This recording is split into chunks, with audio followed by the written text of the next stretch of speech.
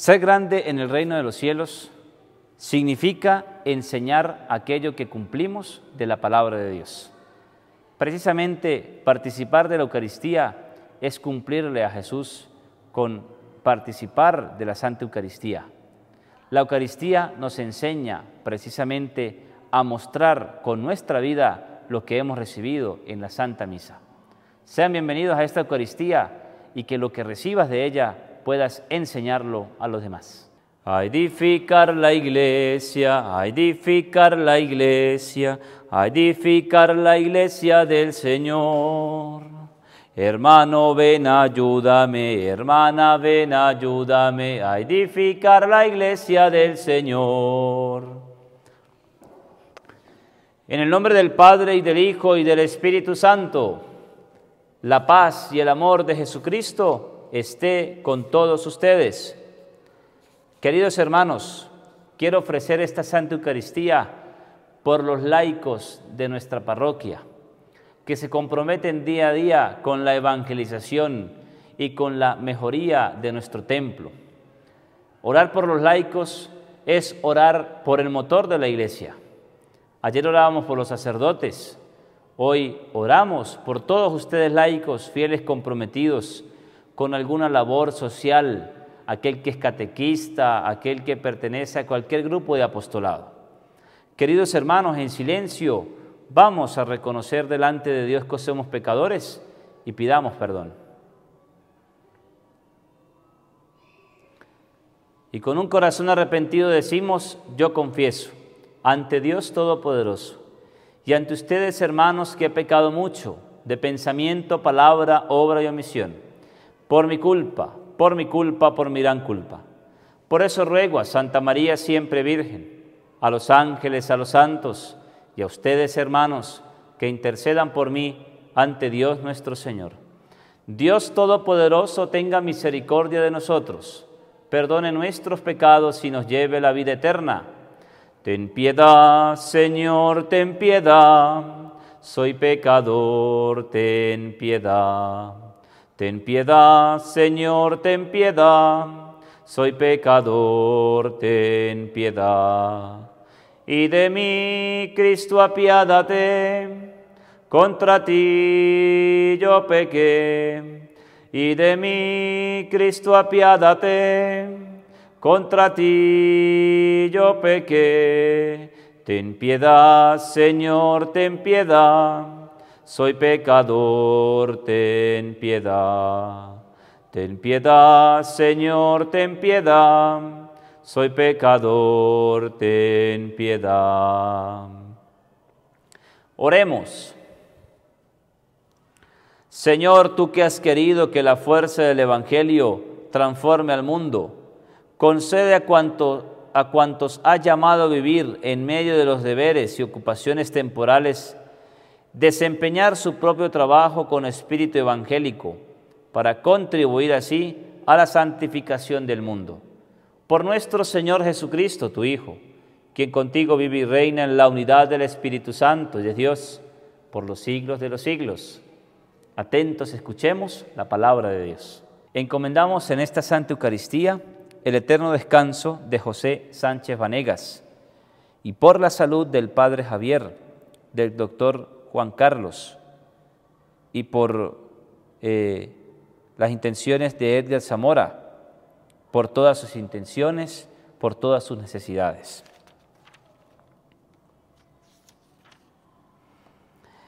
De la segunda carta del apóstol San Pablo a los Corintios. Hermanos, Cristo es quien me da esta seguridad ante Dios.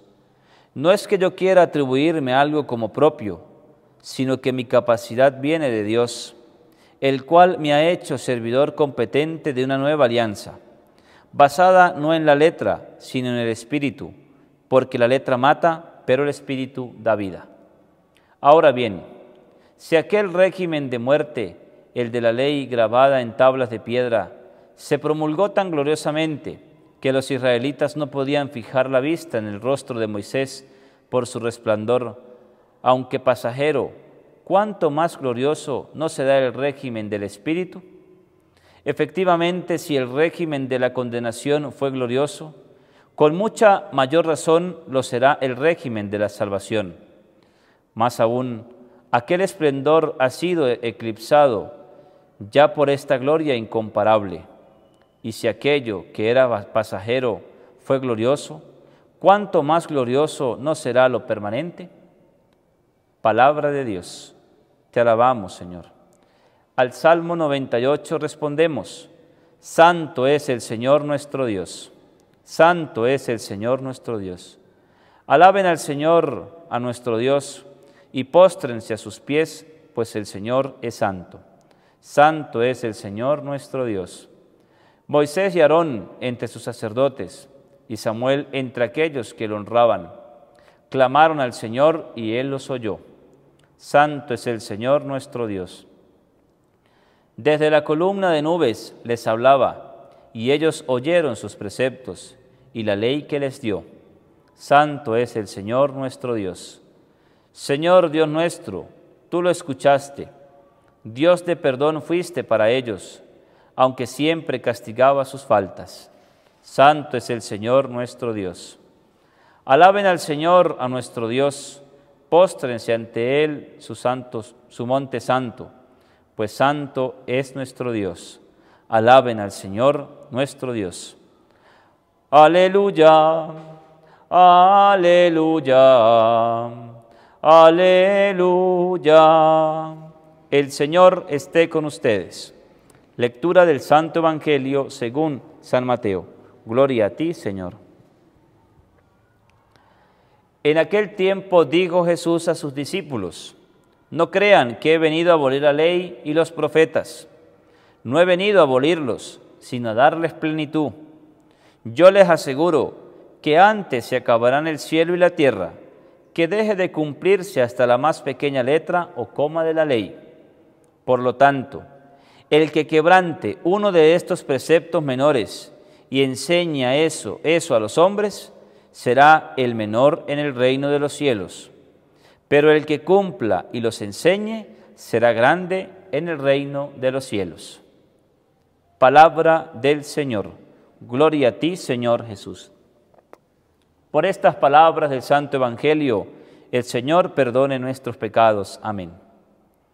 Invoquemos al Espíritu Santo Consolador para que con su sabiduría, su entendimiento, tengamos la capacidad de aprender, de comprender y emprender su santa palabra.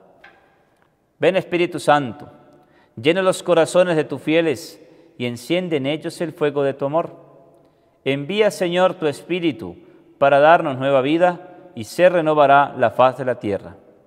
Oh Dios que iluminaste los corazones de tus fieles, con la ciencia del Espíritu Santo, haz que guiado por este mismo Espíritu, saboremos la dulzura del bien y gocemos siempre de tu divino consuelo. Por Cristo nuestro Señor. Amén. Queridos hermanos, cada quien tiene la experiencia en el camino de la fe y cada quien conoce su sacrificio su lucha constante precisamente para ser grande en el reino de los cielos. Muchos quieren solamente, quieren ganarse el cielo con lo más mínimo, con lo más sencillo que puedan hacer en la iglesia. Parece ser que muchos creen que ganarse el cielo es solo participar de la misa, oírla, escucharla, Parece ser que ser grande en el reino de los cielos para muchos es aquel que hace obras de caridad, es aquel que no le hace daño a nadie, es aquel que no mata. Muchos creen que para poder eh, hacer bien las cosas o para estar bien en la vida o para poder ir al cielo, para ser grande en el cielo, se necesita de buena salud y se necesita hacer el bien a los demás. Esas cosas ayudan, esas cosas fortalecen, esas cosas forman parte de poder ganarnos el cielo, de precisamente ser grandes en el reino de los cielos. Pero Jesús nos exige un poquito más. La exigencia de Jesús es que nosotros enseñemos lo que cumplimos de la palabra de Dios. Ayer hablábamos en la misa que es muy fácil aconsejar, enseñar, instruir al que no sabe, porque a lo mejor no sabemos, tenemos conocimientos, tenemos teorías, no sabemos muy bien la Biblia, pero resulta que lo que nos muestra Jesús en el Evangelio es que lo que más enseña a los demás es lo que nosotros cumplimos. Yo sé que la palabra de Dios dice, cuidado con aquellos que predican una cosa pero hacen otra. Haga lo que ellos dicen, mas no haga lo que ellos hacen. Eso lo dice Jesús en el Evangelio. Pero creo que es importante que nosotros como cristianos, como católicos, como hijos de Dios, no solamente nos conformemos con enseñar y hablar muy bonito de Dios, Ay, es que a mí me gusta como aquel padre habla. A mí me gusta como mi vecino, mi vecina me aconseja al niño, me, lo orienta. A mí me gusta como el maestro me, le habla. O a, a mí me gusta en particular como yo le hablo a los demás. Pero si nosotros enseñáramos no solamente lo que sabemos, el conocimiento, sino que también enseñáramos con lo que cumplimos, el reino de los cielos sería grande para mí y para muchos. Y fíjese entonces, ¿por qué es importante? Porque a lo mejor podemos decir, cada quien entrega cuentas, Padre, cada quien tendrá que presentarse ante, Dios y presentar lo que hizo. Eso lo, eso lo tenemos muy claro. Pero parece ser que cuando decimos esas cosas, nosotros nos resignamos no, pues ¿qué vamos a hacer? Que haga lo que pueda. Y Dios no quiere que nosotros seamos de lo que vamos a hacer lo que podamos, sino hacer lo que es necesario. Y lo que es necesario para nuestra vida, vuelvo y repito, es lo que nos dice Jesús, enseñar lo que cumplimos. Yo hice, cambié las palabras, porque aquí dice en el Evangelio, el que los cumpla y los enseñe. Yo lo digo al revés, enseñar lo que cumplimos. Porque podemos entonces nosotros enseñar, pero enseñamos de lo que no vivimos, de lo que no cumplimos en nuestra vida. Y fíjese entonces que Jesús tiene una advertencia para aquellos que no cumplen, para aquellos que enseñan, pero no cumplen, no hacen nada para, para sí mismos. Dice Jesús en el Evangelio, por lo tanto, el que quebrante uno de estos preceptos será menores, será estos preceptos menores, enseñe y enseña eso a eso, eso a los hombres, será el menor en el reino de los cielos. Vuelvo y repito lo que dice Jesús. El que quebrante uno de estos preceptos menores y enseñe eso a los hombres, será el menor en el reino de los cielos. Es decir, le felicito, le animo, porque de seguro sí está enseñando lo que escuchas de Dios. Pero eso que estás escuchando de Dios te sirve a ti, te ha servido de enseñanza para su vida. Yo escucho a veces decir, y gracias por incluso los comentarios que ponen allí en el canal, Padre, muy bonito, qué sabiduría, Padre, qué bien habla. Y gracias, Dios lo bendiga.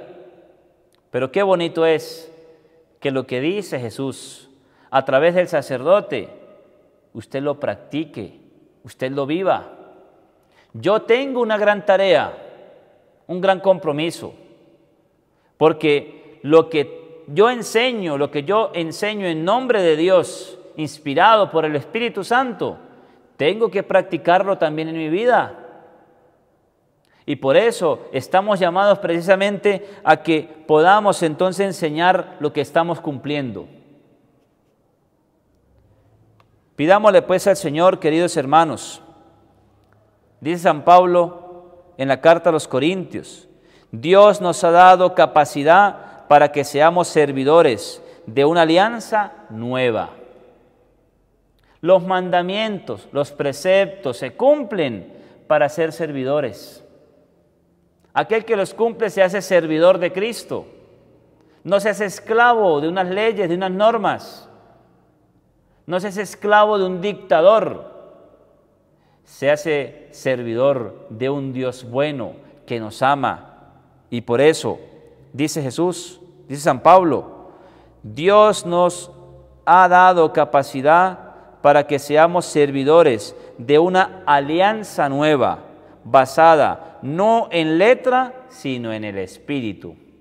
Pidámosle pues al Señor que eso bonito que Jesús siembra en nuestro corazón, en nuestro espíritu, sirva para que nuestra vida crezca, para que nuestra vida dé fruto y para que con ello podamos enseñar a los demás. Gloria al Padre, al Hijo y al Espíritu Santo como era en el principio, ahora y siempre, por los siglos de los siglos. Amén. Oremos, queridos hermanos, a Dios nuestro Padre por la Iglesia, para que en estos tiempos difíciles sigamos siendo testimonio de amor, de diálogo y de reconciliación ante el mundo. Roguemos al Señor, te lo pedimos, Señor. Por nuestros laicos, comprometidos con nuestra parroquia, para que el Señor en cada servicio le llene de ánimo, de fortaleza para enseñar lo que cumplen, roguemos al Señor. Te lo pedimos, Señor. Por todos nosotros, quienes vivimos, nos alimentamos de la palabra de Dios, para que ese alimento produzca esos frutos y sus frutos sean abundantes, roguemos al Señor. Te lo pedimos, Señor. Atiende, Padre bueno, nuestras súplicas, tú que vives y reinas por los siglos de los siglos. Señor, danos sacerdotes santos. Señor, danos familias santas. Señor, danos niños y jóvenes santos. Señor, aumenta mi fe. Señor, danos la paz. Señor, bendice a Venezuela. Amén. Junto a este altar presentaremos el pan y el vino. Junto a ese pan y vino presente nuestra vida como una ofrenda agradable al Padre. Una espiga dorada por el sol, el racimo que corta el viñador, se convierten ahora en pan y vino de amor, en el cuerpo y la sangre del Señor. Se convierten ahora en pan y vino de amor, en el cuerpo y la sangre del Señor compartimos la misma comunión. Somos trigo del mismo sembrador. Un molino la vida nos tritura con dolor. Dios nos hace Eucaristía en el amor. Un molino la vida nos tritura con dolor. Dios nos hace Eucaristía en el amor. Oren hermanos para que este sacrificio que es mío de ustedes les sea agradable a Dios Padre Todopoderoso. El Señor reciba de tus manos este sacrificio para alabanza y gloria de su nombre, para nuestro bien y el de toda su santa iglesia. Dios nuestro, que en tu designio de salvar a todos los hombres por el sacrificio de Cristo, llamas también a los laicos al trabajo apostólico, concédeles por ese mismo sacrificio que hoy vamos a ofrecerte, impregnar el mundo de espíritu evangélico y ser fermento de su santificación. Por Cristo nuestro Señor. Amén. El Señor esté con ustedes. Levantemos el corazón. Demos gracias al Señor nuestro Dios. En verdad es justo y necesario. Es nuestro deber y salvación darte gracias, Padre Santo, siempre y en todo lugar. Por Jesucristo, tu Hijo amado por Él que es tu palabra, hiciste todas las cosas. Tú no lo enviaste para que, hecho hombre por obra del Espíritu Santo y nacido de María la Virgen, fuera nuestro Salvador y Redentor. Él en cumplimiento de tu voluntad para destruir la muerte y manifestar la resurrección, extendió sus brazos en la cruz y así adquirió para ti un pueblo santo. Por eso, con los ángeles y los santos, proclamamos tu gloria diciendo, Santo, Santo, Santo es el Señor, Dios del universo, llenos están el cielo y la tierra de su gloria. Osana en el cielo, bendito el que viene en nombre del Señor. Osana en el cielo. Santo eres en verdad, Señor, fuente de toda santidad. Por eso te pedimos que santifiques estos dones con la efusión de tu Espíritu, de manera que se conviertan para nosotros en el cuerpo y la sangre de Jesucristo nuestro Señor, el cual, cuando iba a ser entregado a su pasión, voluntariamente aceptada tomó pan. Dándote gracias, lo partió y lo dio a sus discípulos, diciendo, Tomen y coman todos de él, porque esto es mi cuerpo que será entregado por ustedes. Señor mío, Dios mío, yo te adoro.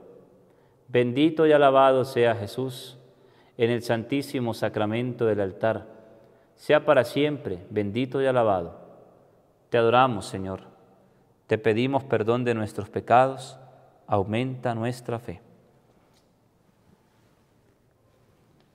Del mismo modo, acabada la cena, tomó el cáliz y dándote gracias de nuevo lo pasó a sus discípulos diciendo, Tomen y beban todos de él, porque este es el cáliz de mi sangre, sangre de la alianza nueva y eterna, que será derramada por ustedes y por muchos para el perdón de los pecados.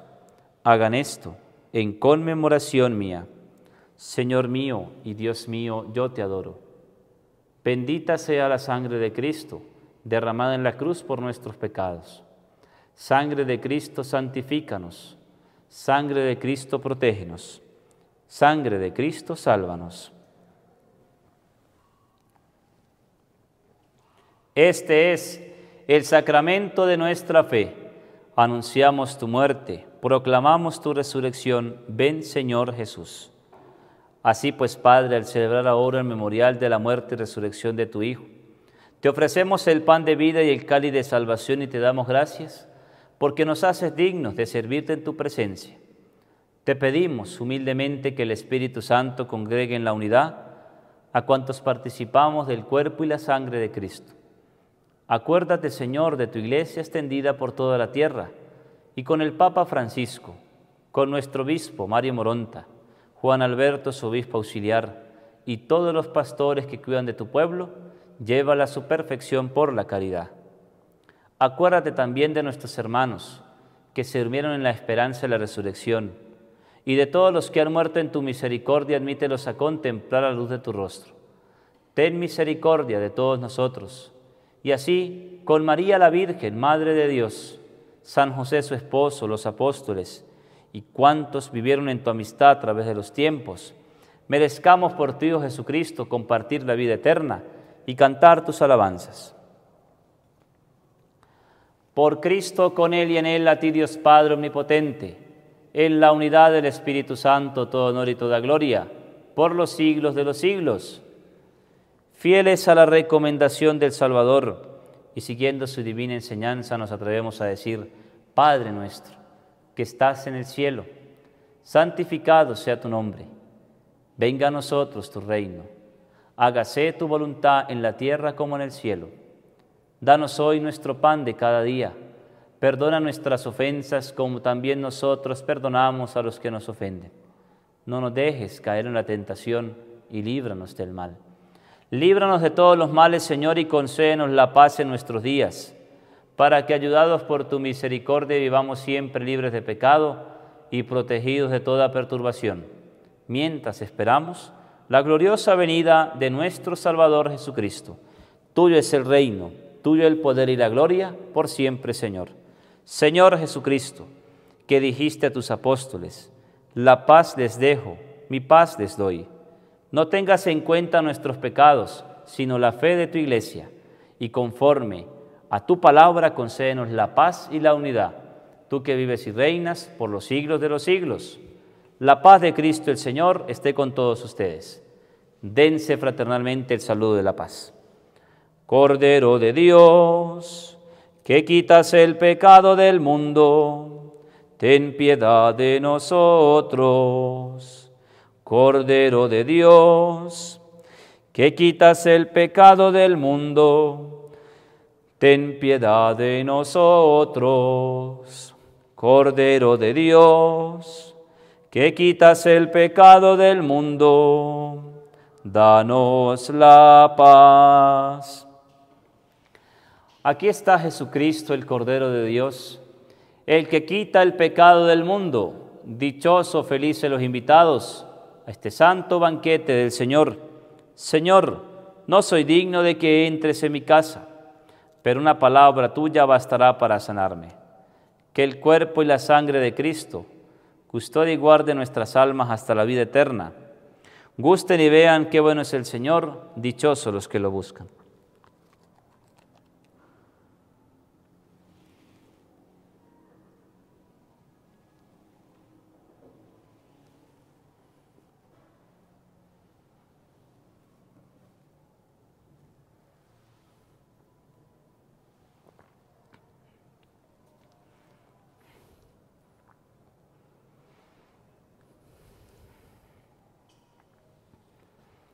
Las personas que no pueden comulgar repiten esta oración. Señor Jesús, tú sabes el deseo que tengo de recibirte sacramentalmente.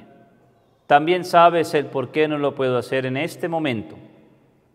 Te pido que vengas a mi corazón, me bendigas, santifiques mi vida, mi familia y mi país. Amén. Y allí en silencio le agradecemos a Dios por el regalo, el don de la vida, por la familia, el trabajo, la salud, lo que somos y lo que tenemos. Damos gracias a Dios por llamarnos a cumplir sus mandamientos, por usarnos a nosotros como instrumentos para enseñar su santa voluntad. Damos gracias a Dios por su palabra por esta Santa Eucaristía. En silencio, demos gracias.